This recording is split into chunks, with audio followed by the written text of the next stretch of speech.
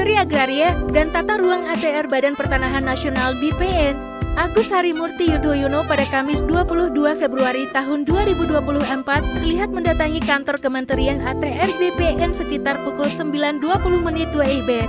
Di sana, ia disambut oleh Wakil Menteri ATR BPN, Raja Juliantoni. AI terlihat datang dengan mobil Mercedes-Benz berplat RI41.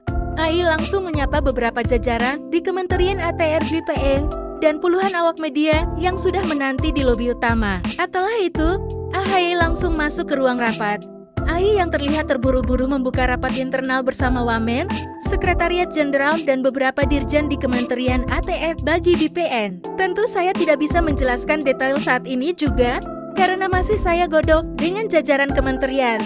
Yang jelas, saya ingin menyampaikan target-target sesuai dengan program yang sudah dirancang selama ini oleh menteri sebelumnya. Saya ingin buka satu persatu mana saja yang ingin dilakukan percepatan, kata Ahi. Ahi mengatakan hanya membuka rapat sesaat, setelah itu langsung menyerahkan kelanjutannya kepada Waman Raja Joli. Setelah itu, Ahi buru-buru ke Bandara Soekarno-Hatta untuk kemudian bertolak ke Bolang Mongondo, Provinsi Sulawesi Utara. Ahi mengaku di hari pertama ini, ia mendapatkan undangan mendampingi Presiden Joko Widodo bersama sejumlah menteri lainnya. Hari ini juga pertama kali melakukan perjalanan dinas sebagai Menteri ATR.